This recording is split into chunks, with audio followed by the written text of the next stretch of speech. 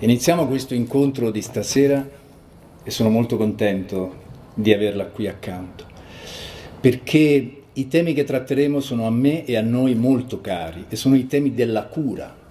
Cominceremo a parlare di cura, perché in un periodo come questo in cui il Paese sta soffrendo, ha sofferto e sta soffrendo, per l'aspetto della salute che ci ha visto come non mai uniti contro un virus, Dovremmo cercare di approfittare, secondo me, di, questa, di, questo momento, di questa situazione, per unirci non solo contro qualche cosa, ma a favore di qualche cosa.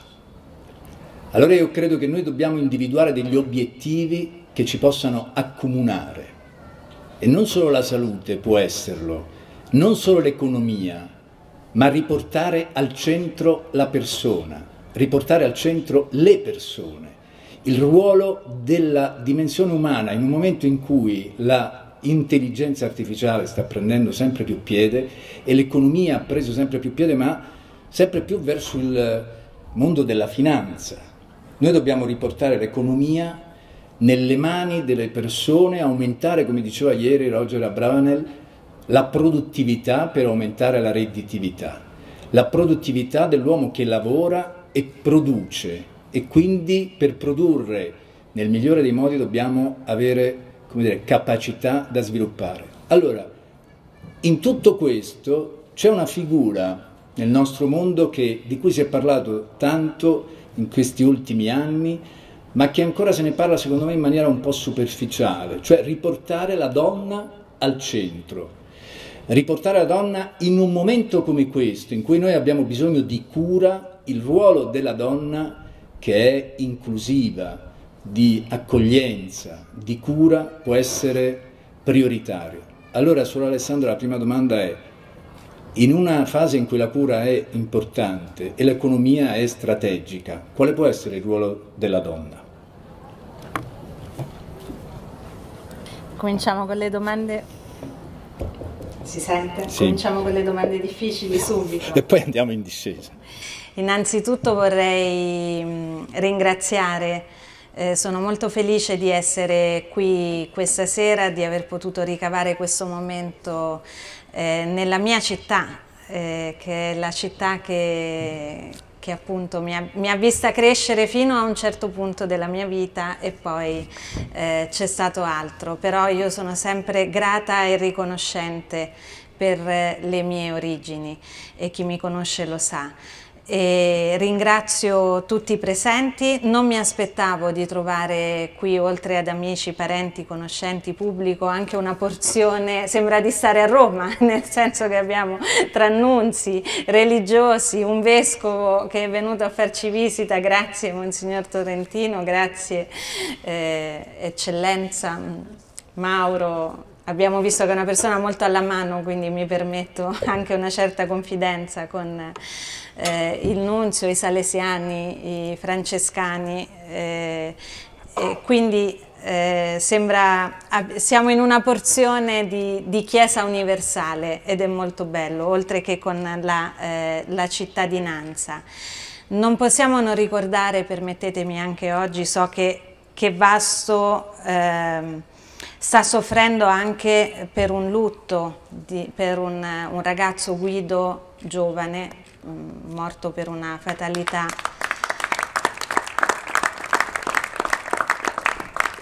E sappiamo che la morte ci interroga sempre, ma quando sono giovani eh, ci lascia più, con più punti interrogativi, ma credo anche eh, ci fa interrogare sul senso della vita e sul, sul dono della vita e su come eh, viverla al meglio e quindi magari facciamo un momento di silenzio per, per ricordarlo e per ricordare i propri cari.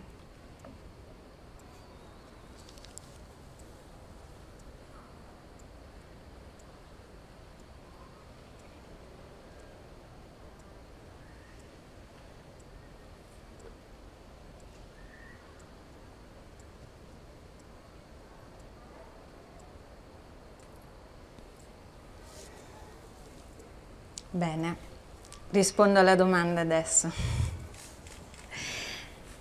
Cura, economia, donne, cosa, c'è in comune tra queste parole e, e, di che cosa abbiamo bisogno oggi, soprattutto con quello che abbiamo visto eh, a partire mh, dalla pandemia. A partire dalla pandemia ci siamo accorti che eh, il bisogno di cura e di prenderci cura gli uni degli altri eh, è vitale, definisce anche, è, è essenziale per, per l'essere umano e per le nostre relazioni. Eh, la, una delle lezioni che il Covid ci ha insegnato, credo almeno qui in Italia, è che abbiamo saputo fermarci, abbiamo messo tutto da parte per poterci prendere cura delle persone, per poter salvare vita e, e, e quindi eh, Grazie a questa esperienza abbiamo forse compreso sulla nostra pelle quanto è importante potersi prendere cura gli uni degli altri. Il tema è che abbiamo scoperto anche attraverso il Covid eh, che non basta affidare la cura alla famiglia, al privato e per molto troppo tempo eh, il tema della cura è stato affidato proprio perché al privato poi alle donne e invece abbiamo capito che tutti abbiamo bisogno di cura, ma tutti siamo in grado di offrire cura, di prenderci cura gli uni degli altri. E quindi il Covid ci ha fatto anche capire che eh, la cura, il prendersi cura, è un qualcosa che non può essere semplicemente affidato al privato, alla sfera privata, non al privato in senso alla sfera privata, quindi semplicemente dentro la famiglia, ma è un qualcosa che eh, è un compito di tutta la società. Un proverbio africano recita per crescere un bambino ci vuole un intero villaggio, cioè un intero villaggio che si deve strutturare per potersi prendere cura dei piccoli, eh, delle persone nel loro percorso di vita, degli anziani, di quando eh, si attraversano momenti di malattia e tanto altro. E allora perché sia tutto un villaggio, cioè tutta la società che, eh, che riesca a prendersi cura, anche l'economia deve essere strutturata per questo, perché non può funzionare eh, il prendersi cura come società, come insieme, se poi eh, viviamo l'economia come l'economia della massimizzazione, del, eh, della minimizzazione dei costi e, eh, e, questo nelle aziende diventa un non aver cura dei tempi e dei ritmi delle persone, ma non possono essere solo le aziende che se ne occupano, eh, ci deve essere una struttura che permette questo. E, eh, e, perché le donne sono importanti in questo momento? Perché sappiamo che naturalmente le donne hanno per istinto, per biologia, eh, una marcia in più nel sapersi prendere cura. Il punto è che se il sapersi prendere cura è una caratteristica che ci rende più umani, più persone, non può essere una caratteristica appunto eh, di cui si devono occupare solo le donne. Ed è per questo che dovremmo ristrutturarci eh, per permettere a tutti di potersi prendere cura. E non è semplicemente un tema legato a congedi parentali o asili o servizi, è un qualcosa dentro di noi, dentro la cultura che deve cambiare. E qui vorrei venire a una proposta che è stata avanzata da una filosofa canadese, Jennifer Nedelsky, la quale appunto riflettendo sul fatto che eh, il prendersi cura è eh, qualcosa che ci, ci rende più persone, eh, lei dice eh, dovremmo biasimare socialmente le persone che dicono non ho tempo neanche di stirarmi una camicia o non ho tempo di poter leggere una favola a un bambino, di poter far compagnia ad un anziano, perché devo la lavorare troppo, perché siamo abituati a ritmi che, eh, dove bisogna dare eh, sempre il massimo. Eh, lei dice se la cura è importante per tutti, ci definisce anche come persone, così come il lavoro è un elemento che dà dignità alle persone e lo sappiamo, allora lei dice dovremmo ristrutturare i tempi del lavoro e i tempi della cura per poter permettere a tutti di lavorare e prendersi cura. E qual è la sua proposta? La sua proposta è eh, che quello che oggi è il lavoro full time, perché quello che noi associamo ad un full time è un qualcosa di socialmente costituito, è cambiato nel corso della storia e può continuare a cambiare. Le 40 ore settimanali che sono per l'Italia, perché se poi andiamo in giro per il mondo vediamo che le norme sono anche diverse, è un qualcosa che come società ci siamo dati. Eh, lei dice quello che oggi è considerato il part-time dovrebbe diventare il nuovo full-time in una società che si ristruttura per questo e le ore che si liberano diventano ore in cui quasi per contratto le persone devono occuparsi di cura. Cioè, come oggi lo sono le ferie, oggi abbiamo diritto alle ferie, ma anche dovere perché se non le prendiamo le ferie ce le dobbiamo recuperare perché abbiamo riconosciuto che è importante poter avere momenti di sosta. Lei dice dovremmo riuscire come società a renderci conto che è importante dedicare ore, tempo al prendersi cura che vuol dire? Che ci sono dei momenti nell'arco della vita e della famiglia in cui la cura deve essere prestata dentro la propria famiglia, quando ci sono bambini anziani, ma il resto del tempo questa cura può essere messa a disposizione del quartiere, della, della, città, ci si può organizzare per questo se la riteniamo un'attività importante, non la cura professionale di cui continueremo sempre ad aver bisogno, ma quelle attività di cura che tutti possono fare tutti possono imparare. Lei dice sogno una società, un mondo in cui dopo la prima domanda che facciamo a una persona che di solito è come ti chiami, la seconda domanda di solito è che cosa fai? Lei dice sogno un mondo in cui la seconda domanda è non di che cosa ti occupi ma di chi ti occupi e questo deve definirci. Lei dice nessun lavoro dovrebbe non permettere alle persone di eh, prendersi cura e, e, ci sono dei lavori in cui bisogna per forza magari portare a termine dei progetti o ci sono dei, un chirurgo che deve operare e che ha... però poi nell'arco di un anno quel tempo della cura si può recuperare se lo riteniamo importante. E io credo che oggi abbiamo maturato la consapevolezza, grazie anche all'esperienza del Covid, per poter dire eh, se riteniamo importante eh, il lavoro, ma anche il saperci prendere cura, eh, forse possiamo fare qualcosa per ristrutturarci in questo senso. E sono state fatte, adesso non voglio tediare, con analisi anche macroeconomiche per dire ma poi se diminuiscono le ore di lavoro, ma se tutta la società si ristruttura intorno a questo, diventano altri ritmi e pensiamo quanto si risparmia se non bisogna appaltare la cura e di solito la si appalta sempre a quelle che vengono considerate categorie inferiori e allora questo contribuisce anche a creare proprio perché non la valorizziamo la cura, quella cultura dello scarto eh, per cui lavori che vengono considerati non valorizzati socialmente vengono affidati alle donne o a persone eh, che appunto vengono considerate meno. Se invece recuperassimo il valore del prendersi cura come società, eh, forse potremmo far cambiare questo e credo che se una lezione eh, dovremmo impararla dal Covid è proprio quella di riuscire a mettere insieme lavoro e cura e dice Jennifer Nedeschi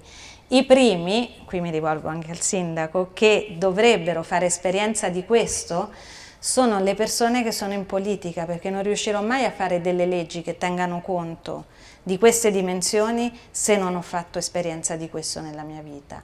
Quindi ritornando alla domanda, una, uno dei valori aggiunti, del, un, un elemento fondamentale che oggi le donne possono portare all'economia è far comprendere a tutti, uomini e donne, l'importanza della cura e di ristrutturare i tempi del lavoro, della cura e dell'economia eh, per poter vivere meglio.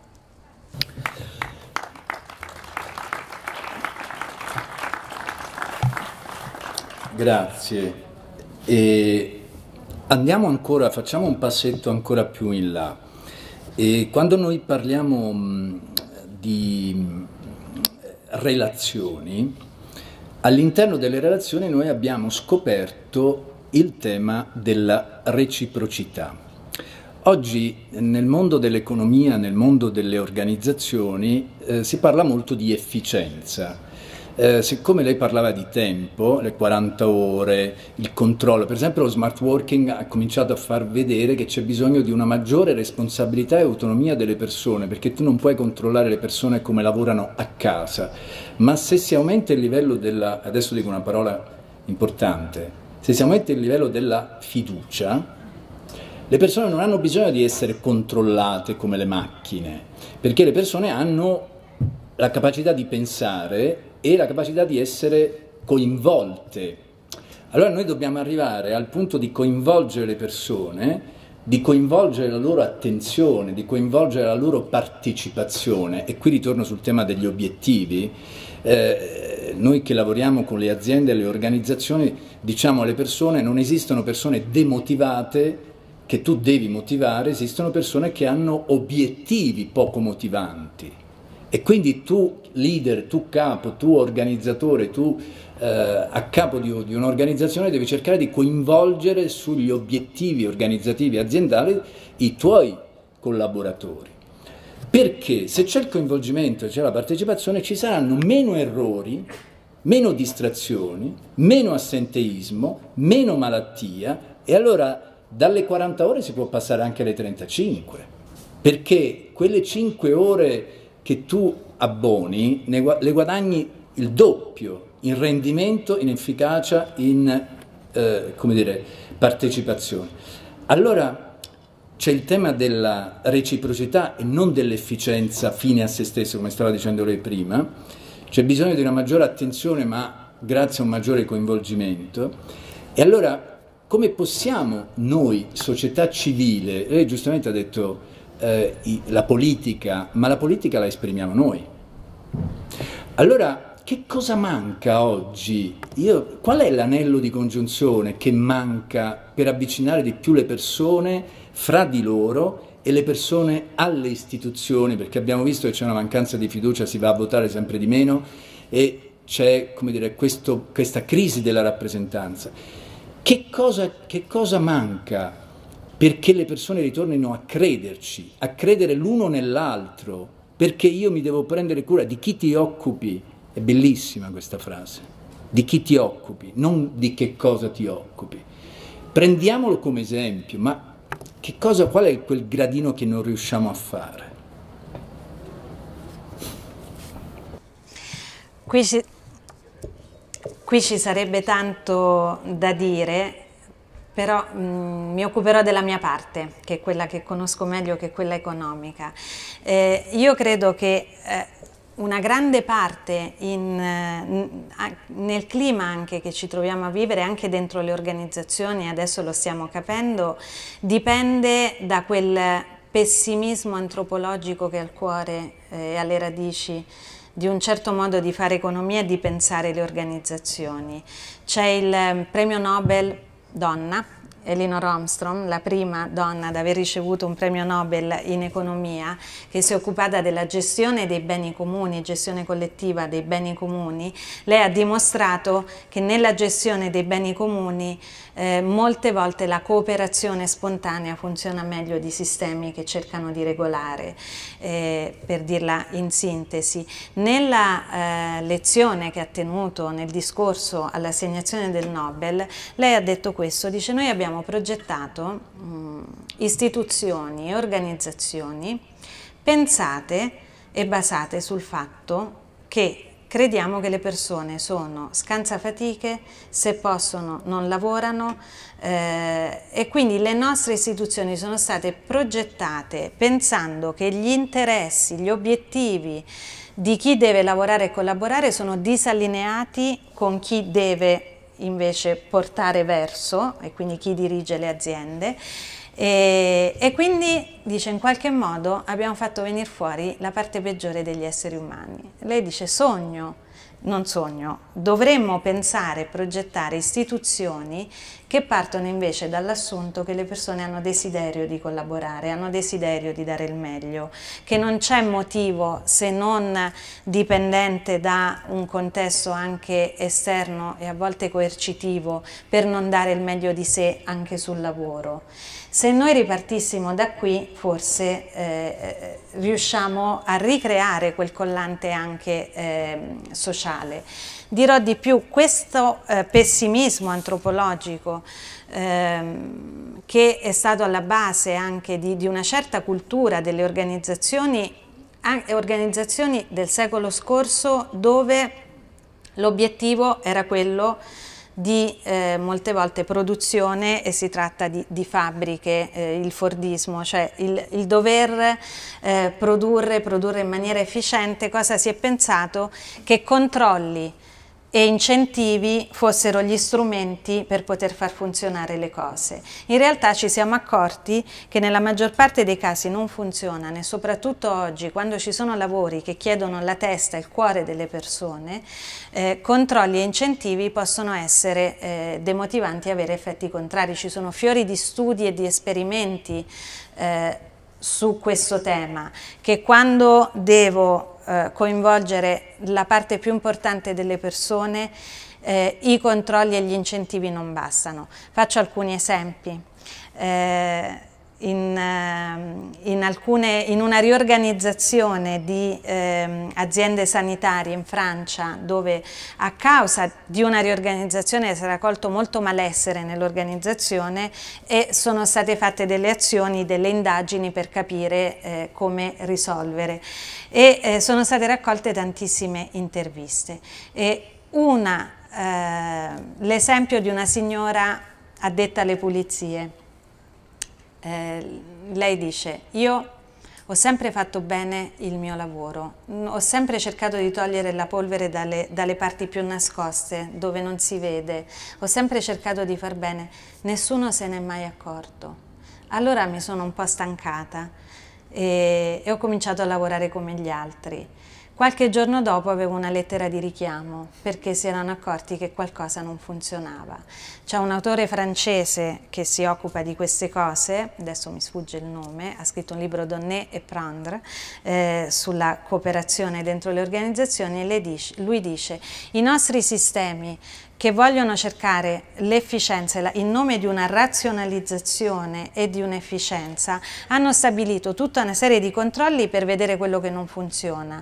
Non ci si rende conto di quello che invece funziona, che molte volte è il lavoro invisibile, perché pensate, tutti quelli che hanno a che fare con organizzazioni che devono andare avanti, pensate all'organizzazione di questo evento se questo evento funziona questa sera, se è andato tutto liscio, è perché c'è stato tanto lavoro che è invisibile, che nessuno ha visto. Quel lavoro si vede solo nel momento in cui qualcosa non va e allora si va a cercare la persona responsabile, ma se quella persona ha lavorato bene noi non ci accorgiamo di niente e neanche la ringraziamo.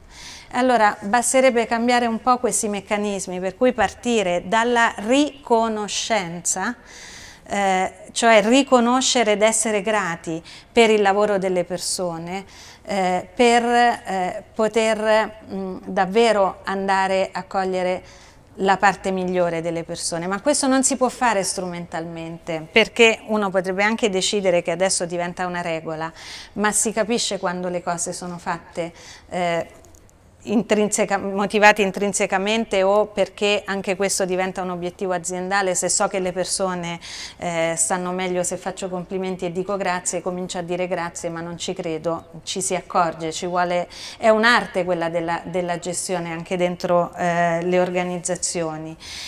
E l'altro tema è quello, quindi controlli che sono demotivanti e molte volte vengono percepiti come non ci vogliono lasciare in pace le mosche, vengono percepiti come mh, una mancanza di fiducia nei confronti delle persone. E allora anche qui sono stati fatti tanti esperimenti, tanti studi che fanno vedere come eh, quando si pongono degli incentivi, perché, perché vengono dati gli incentivi molte volte? Perché si vuole far lavorare di più le persone. Quando c'è da mettere in campo motivazioni intrinseche, gli incentivi possono addirittura scoraggiare le persone più motivate perché pensano se mi devi pagare in più per quel pezzetto in più perché pensi che non sono in grado di farlo e allora eh, e tutto questo crea malessere dentro le organizzazioni. Abbiamo quindi forse bisogno di eh, recuperare la, questo credere nella positività delle persone. È vero che eh, se mi fido delle persone la mia fiducia può essere tradita. Ma il punto è quale tipo di organizzazione di economia di società io desidero. Quella in cui c'è il rischio che qualcuno se ne approfitti, ma la fiducia, proprio perché fiducia che non può essere controllata, se poi ripagata, crea sistemi che funzionano bene e che fanno star bene le persone o per paura che la fiducia venga tradita creo un clima di controllo dove fisso gli obiettivi e se non vengono rispettati e, e, premio solo uh, quando vengono rispettati eccetera e tutto questo non mi permette di vedere la parte migliore delle persone. E parlando di incentivi e controlli, eh, è anche stato dimostrato che nelle organizzazioni, eh, se si razionalizza troppo, quello che viene a mancare poi è il genio, la creatività. E se manca il genio la creatività mi privo anche di una possibilità di migliorare le organizzazioni, ma questo in tutto, dai lavori più semplici a quelli che richiedono più... Eh, ehm, più lavoro di testa o che devono essere veramente creativi perché bisogna inventare e produrre cose nuove. Ehm, abbiamo bisogno di credere nelle persone.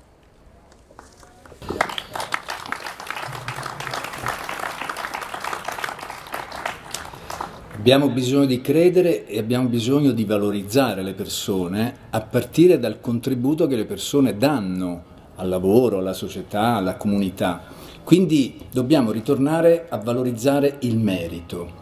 Eh, come ha giustamente accennato eh, con un'immagine molto chiara, noi cogliamo le cose quando non funzionano, ma non ci accorgiamo delle cose che vanno bene.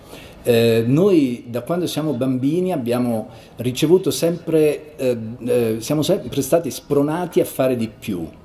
E c'è un'educazione, una tendenza a dover superare no? eh, un, un, limite che va bene finché quel limite è alla nostra portata e siamo accompagnati per mano in maniera, eh, come dire, non giudicante, eh, perché altrimenti i messaggi trasversali che riceviamo tu non vai bene così perché se devi sempre fare di più tu non vai bene così. Allora ci sono tutta una serie di spinte che sii perfetto, sforzati, sii forte, eccetera, eccetera, che fanno sì che le persone non si sentano accettate per come sono, che invece è il primo elemento, perché noi esseri umani trasformiamo la, la realtà attraverso il lavoro, ma che prima deve essere, realtà che prima deve essere accettata per quella che è.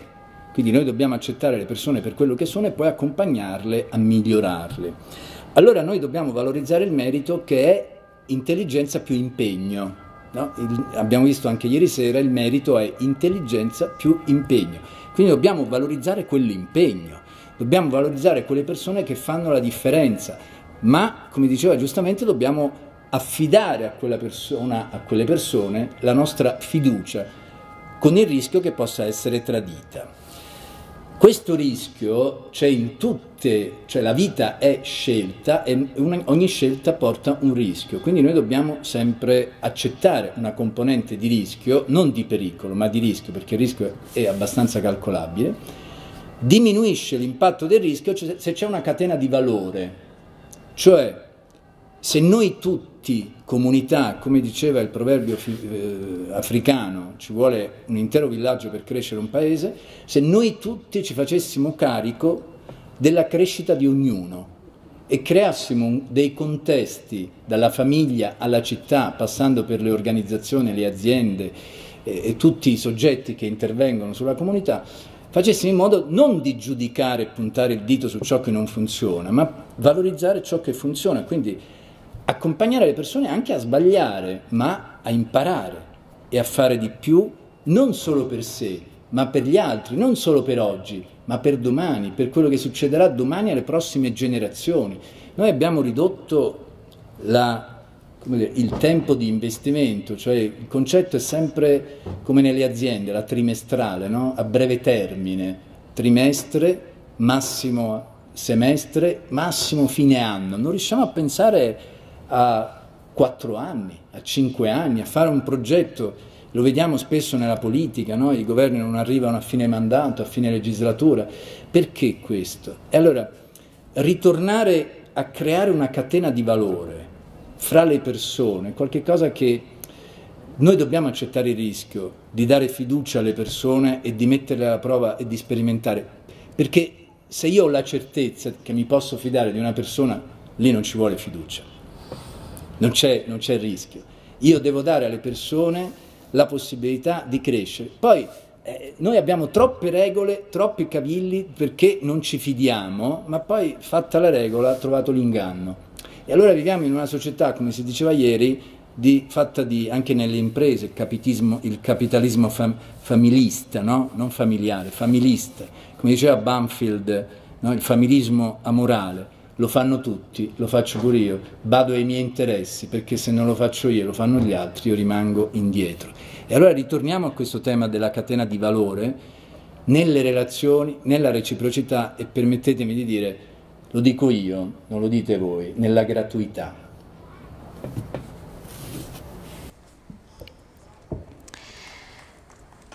Grazie. Non aggiungerei molto perché eh, mi sembra eh, importante, mi sembra questo il punto. Vorrei dire che su questo tema forse abbiamo bisogno di, di cambiare anche qui, abbiamo bisogno di una conversione. Eh, a livello culturale e sociale, in che senso? Eh, l'abbiamo visto con la pandemia, ma l'avevamo cominciato a capire anche prima della pandemia e eh, la sezione di cui nel Dicastero per lo sviluppo umano integrale mi occupo è quella dell'economia, ma anche dell'ecologia con il compito di eh, portarle avanti insieme. E mi sembra un po' profetico perché perché abbiamo capito tutti che eh, se andiamo avanti così come stiamo andando avanti non, eh, non, ci sarà molto futuro. E questo non è semplicemente una questione di, eh, è una questione di rispetto della Terra, del pianeta, dei suoi limiti, eh, ma questo rispetto noi sappiamo nella Laudato Si questa enciclica scritta ormai sei anni fa da Papa Francesco che adesso comincia a, eh, anche ad essere messa in pratica, ci è voluto un po' per essere conosciuta, per, eh, il messaggio fondamentale è tutto è connesso. E poi abbiamo un'altra enciclica dello scorso anno siamo tutti connessi, la Fratelli Tutti, quello è il messaggio eh, di questa enciclica. E ehm, il che vuol dire eh, che forse abbiamo bisogno di cambiare il modo in cui eh, pensiamo all'economia sicuramente, perché abbiamo visto che viviamo in un'epoca in cui eh, l'economia in qualche modo e poi una finanza, quando diventa finanza per la finanza, eh, diventa, la da padrona e non è quello che dovrebbe essere. Economia, eh, oikos nomos, eh, vuol dire cura e gestione della casa, eh, dove per casa possiamo intendere le mura domestiche ma anche eh, il pianeta che ci ospita, la nostra casa comune. E se pensiamo ad un'economia che sia uno strumento per poter vivere tutti meglio e poterci curare, prendere cura anche eh, della casa comune, forse ci sono dei concetti da cambiare, ma concetti che poi diventano anche temi legati a questa catena di valore. Mi spiego meglio. Chi mi conosce sa che la cito sempre, quest'altra economista, Kate Raworth, che ha scritto un libro intitolato L'economia della ciambella o The Donuts Economics.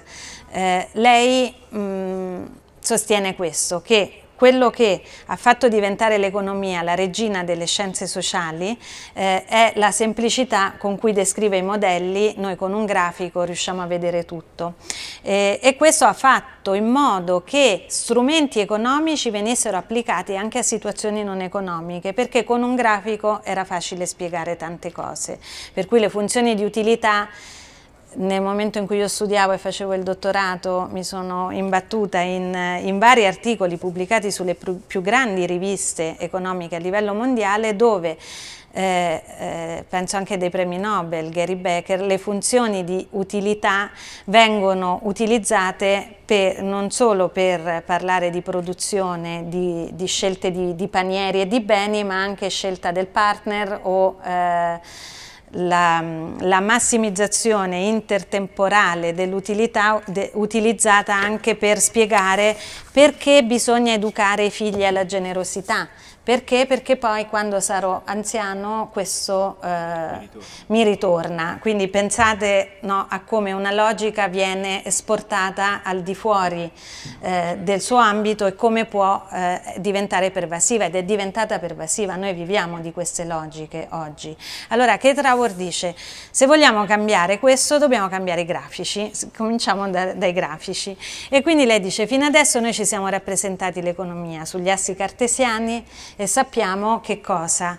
Eh, che in un grafico eh, di questo genere buono è sempre verso destra, buono è verso l'alto. Immaginatevi il grafico, la freccia che sale, andiamo verso... Lei dice forse dovremmo comprendere che invece buono è riuscire a stare in un equilibrio, un equilibrio che, che, riesca a rispettare i bisogni fondamentali delle persone e a non eccedere i limiti di quello che il pianeta ci offre. E quindi lei disegna il sistema economico come una ciambella, cioè due cerchi concentrici. Misurando le varie dimensioni importanti per la nostra vita, le dice dobbiamo riuscire a a non stare dentro il buco, che vuol dire se per alcune dimensioni siamo nel buco della ciambella vuol dire che non stiamo soddisfacendo i bisogni fondamentali delle persone, diritto alla casa, diritto eh, al cibo, accesso al cibo, alla nutrizione. E sappiamo cosa sta capitando in questo momento nel mondo anche a causa della pandemia e la fame sta aumentando. E Papa Francesco dice la fame è criminale perché non ci spieghiamo perché produciamo cibo per sfamare tre pianeti e poi ci sono persone che ancora muoiono di fame. Se non mettiamo mano seriamente a questo problema avremo problemi. Quindi se sono lì vuol dire che devo fare qualcosa per migliorare la mia situazione. Il cerchio esterno della ciambella è eccedere quello che eh, il pianeta riesce a darci, andare oltre. Se tutti vivessimo per alcune dimensioni oltre il cerchio esterno della ciambella vuol dire che ehm, il pianeta non basta. E quindi lo scopo è riuscire a rimanere dentro la parte edibile, mangiabile della ciambella. Cambia lo schema, il buono non è L'ottimo non è riuscire ad avere sempre di più, riuscire a produrre sempre di più, ma riuscire a stare in quell'equilibrio, garantire quello che va garantito senza eccedere. Quindi dovrà cambiare anche la matematica dell'economia, perché per ora noi eh, in economia usiamo massimizzazioni, ottimizzazioni, eccetera.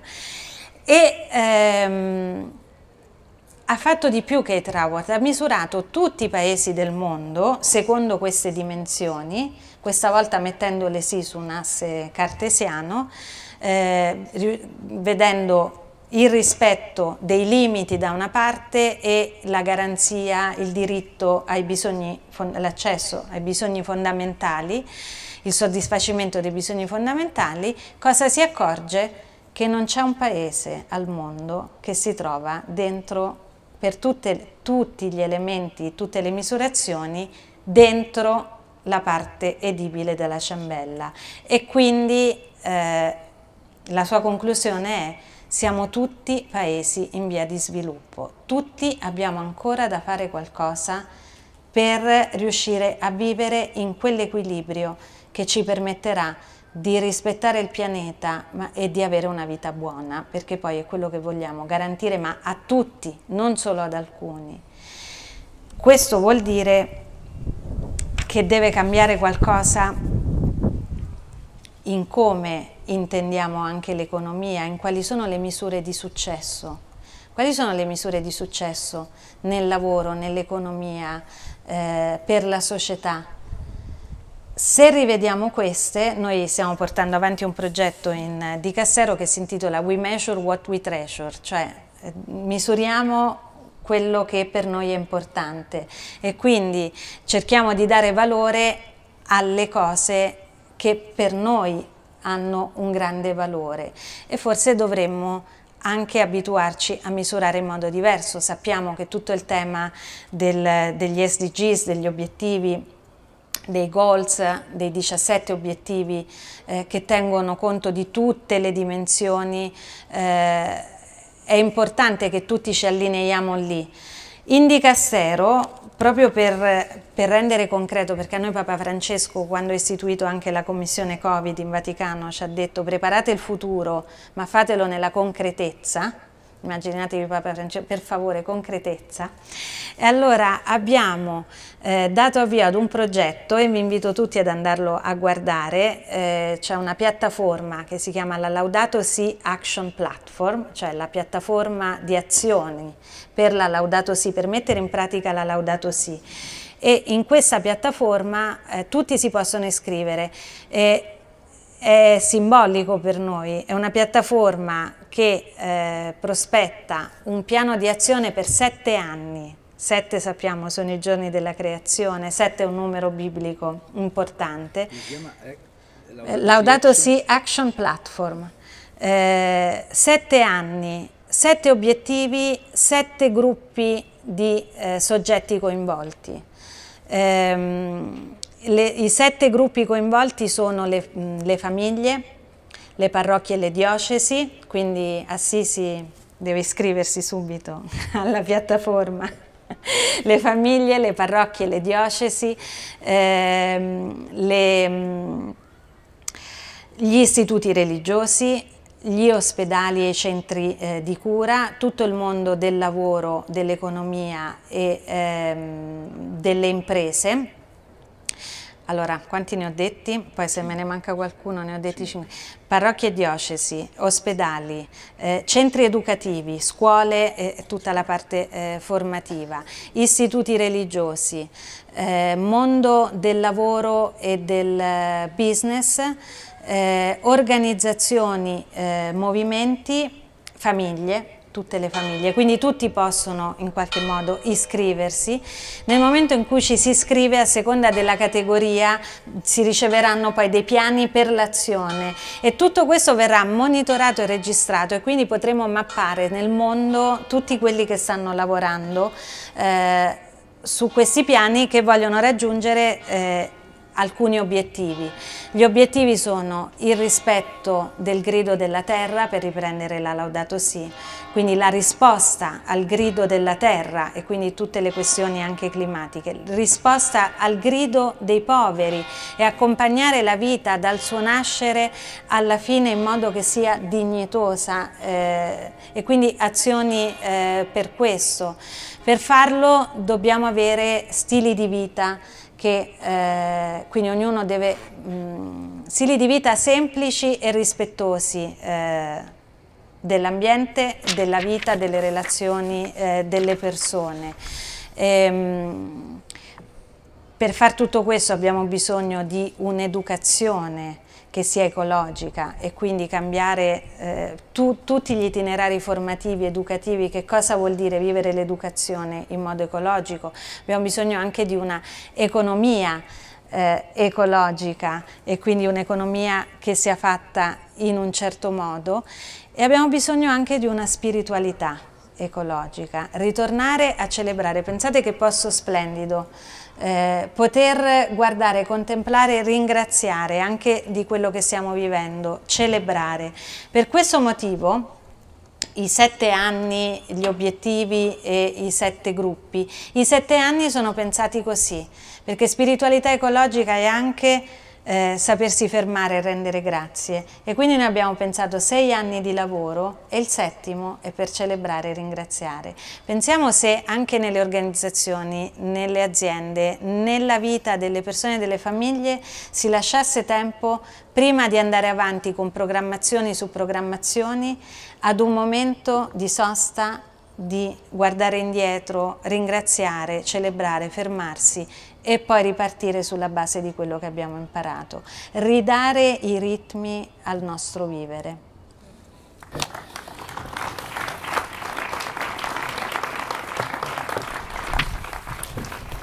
È più che un sogno, è una necessità. È una necessità se vogliamo mm, eh, dare senso e significato al concetto di tutto è connesso, perché non, pensiamo, non possiamo pensare di vivere ormai isolatamente e il Covid ce l'ha dimostrato, siamo tutti sotto questo cielo. Um, io penso una cosa, allora, qui entra in gioco un tema che viene proprio fuori dalla relazione con l'altro, con la A maiuscola, dove l'altro può essere l'ambiente, il contesto, l'altro, il mio vicino di casa, il mio collega, il mio familiare, il mio congiunto. E allora viene fuori il concetto di limite, una cosa che, a cui noi non pensiamo quasi mai, o, o meglio, il limite a volte lo subiamo oppure lo dimentichiamo, ma difficilmente lo gestiamo, perché noi passiamo da un concetto di impotenza io insegno all'università, vi posso assicurare, molti studenti vivono sentimenti di impotenza rispetto a un mondo che sembra non aspettarli, un mondo che sembra non avere, come dire, eh, attesa verso i giovani. Dei giovani se ne parla, ma non si dà voce ai giovani per ascoltarli, per riconoscere quello che veramente sono e quello di cui veramente ha bisogno. Noi parliamo sopra i giovani non con i giovani, è un'altra cosa di cui dovremmo... Perché lei ha, ha, citato il concetto di educazione. Educazione vuol dire educere, dal latino educere, portare fuori, portare fuori quello che c'è, da ognuno secondo le proprie capacità, a ognuno secondo i propri bisogni. E questo significa rispetto. E un'altra parola, insieme al limite che voglio introdurre in questa nostra bellissima riflessione chiacchierata, è, il tema del bisogno. E pensate, bisogno vuol dire due volte sogno, bisogno. Uno è il mio, uno è il tuo. Uno è il mio, uno è il sogno dell'altro. Se i nostri sogni si incontrano, pensate che, che potenza si può generare. Se invece il mio e il tuo sogno si scontrano, allora le nostre forze si annullano reciprocamente. Noi dobbiamo tornare a fare incontrare i nostri sogni. Anche quando non vengono espressi, bisogna trovare il modo di accompagnare le persone a portare fuori il proprio sogno, che siano giovani o meno giovani. Noi stiamo vivendo in una società che invecchia sempre di più. Oggi ne parlavo col mio amico Renato, che non vedo, ma doveva essere qui. E, e dobbiamo pensare a come utilizzare la la capacità, l'esperienza degli anziani, delle persone che smettono di lavorare ma che non smettono di vivere, non smettono di essere produttivi, di pensare, di trasferire esperienza. Dobbiamo pensare come utilizzare questa esperienza. Io con Renato parlavamo stamattina di creare una community dove eh, le persone che hanno una certa maturità possono diventare dei mentori, dei tutor, noi dobbiamo recuperare questa esperienza perché sennò perdiamo sempre, ricominciamo sempre da capo. Perché tutto si trasferisce, vedete dove siamo? Siamo in un palazzo che non abbiamo costruito noi, noi l'abbiamo ereditato, ne dobbiamo avere cura, è un'altra cosa, come la terra, ne dobbiamo avere cura. Ecco, allora c'è bisogno di responsabilità sociale, di cui le imprese parlano spesso, ma forse si occupano poco perché si danno dire, delle facciate no, di responsabilità sociale, si chiama green washing, cioè eh, pitturarsi di verde la facciata, ma poi nella sostanza non c'è. Allora bisogna ritornare ad avere il concetto di limite, ma anche di, di crescita, come dicevamo all'inizio di questo incontro, di creatività, di generare nuova vita, perché noi siamo, come la natura genera Vita che genera vita. Noi dobbiamo avere cura della vita che generiamo dalle opportunità che creiamo. Tutti noi, tutti noi, ognuno di noi, nessuno si sente escluso da questo concetto. Il problema è pensare che lo debbano fare gli altri, invece lo dobbiamo fare noi. Questa, questa Laudato Si Action Platform mi sembra un'idea geniale. Devo aggiungere qualcosa? sì, andiamo avanti all'infinito. No, queste parole mi, queste parole mi danno l'occasione di, di, poter parlare di, di un'esperienza molto bella, perché penso che poi le parole rimangono solo parole se non vengono corredate anche da fatti. Concretezza. Eh, la concretezza, proprio perché qui c'è Monsignor Sorrentino, voglio raccontare l'esperienza e l'avventura bellissima, che secondo me è paradigmatica, che stiamo vivendo con i giovani di Economio Francesco. Eh, questo, questo, sogno che è diventato realtà eh, in una maniera e ci sta crescendo tra le mani in un modo che noi non avremmo mai immaginato, penso che possa confermare eh, Monsignor Sorrentino. Eh, nel 2019 Papa Francesco ha scritto una lettera per invitare giovani economisti ed imprenditori ad Assisi per fare un patto per cambiare l'economia attuale, dare un'anima all'economia del futuro, dicendo voi già state vivendo questo, eh, ho bisogno delle vostre proposte, fatevi avanti, cominciate a... mettiamoci insieme, ecco il mettersi insieme, mettere insieme i sogni può far diventare il sogno una bella realtà. E quando era stata pensata questa iniziativa si pensava ad un massimo di 500 giovani, una sorta di elite da radunare ad Assisi che diventasse propulsore per il mondo. A quella richiesta di Papa Francesco sono arrivate eh, più di 3.000 lettere di richiesta di partecipazione che sono state accuratamente lette, viste e selezionate. Perché selezionate?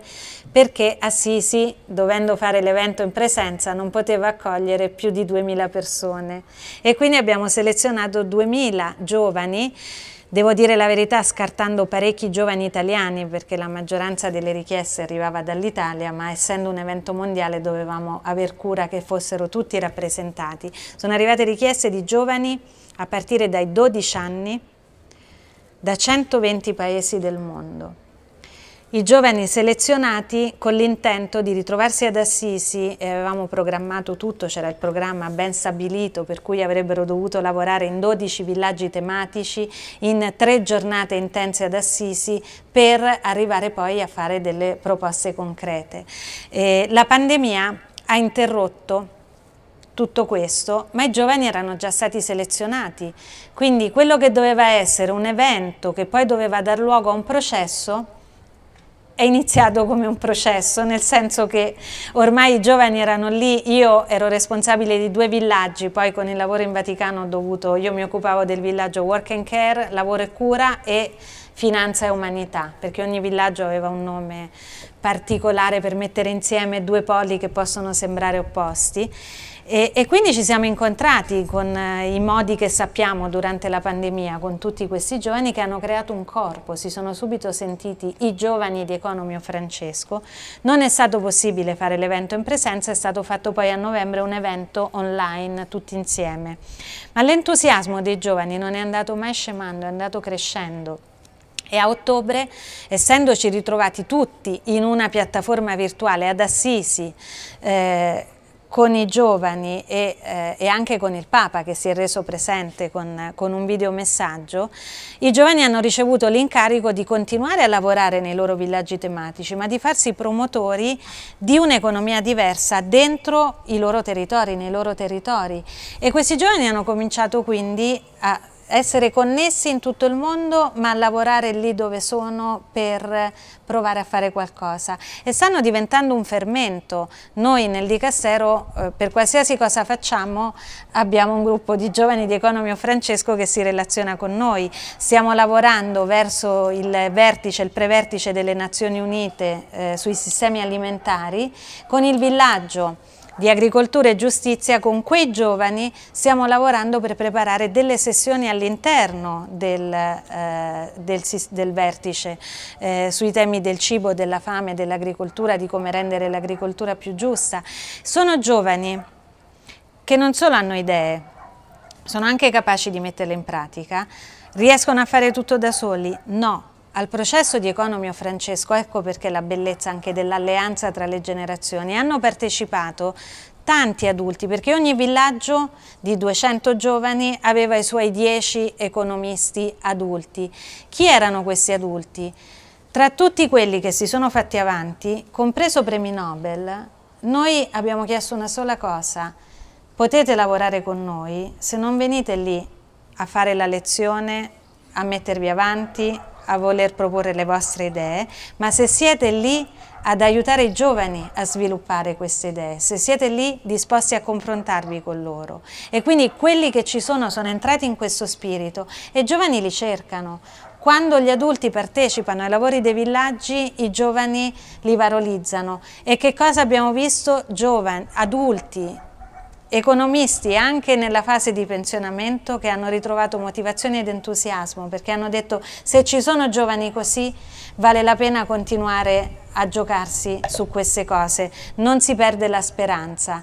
E allora eh, ho raccontato questo perché può essere un esempio, come dicevo, per me paradigmatico di come mettendoci insieme con grandi ideali, sogni, ma volendo sviluppare azioni concrete, dando ai giovani, perché Papa Francesco ha fatto questo, ha preservato uno spazio per i giovani, ma non ha detto fate tutto da soli e quindi i giovani hanno lavorato e stanno lavorando insieme agli adulti e questi giovani che mano a mano stanno entrando anche in posti di lavoro che eh, hanno belle ottime capacità, essendo tutti connessi a, come una grande rete a livello mondiale, pensate che potenza può avere tutto questo per una generazione di, di economisti che cresce in un certo modo.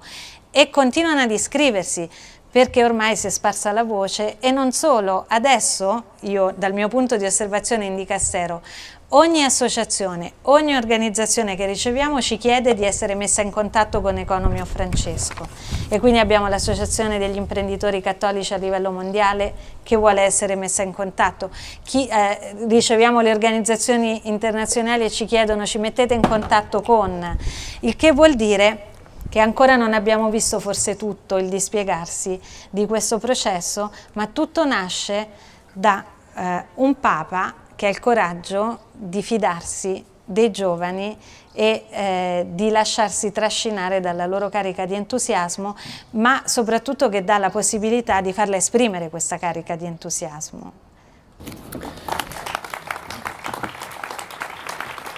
È quello che dobbiamo fare perché i giovani hanno eh, la potenza proprio della loro vitalità che si esprime fra i 18 e i 30 anni, poi comincerà a scemare, però noi questa come società dovremmo utilizzarla. Allora io volevo fare quasi una domanda a voi. Io starei ore a parlare qui con Suor Alessandra e mi sembra di non sprecare questo tempo ma di investirlo in una sorta di nutrimento dell'anima e della mente. Quando invece sento le persone che dicono eh, ma è un convegno, è una cosa, eh, ma leggere un libro, eh, ma stare a sentire, ma no, c'è bisogno di evasione.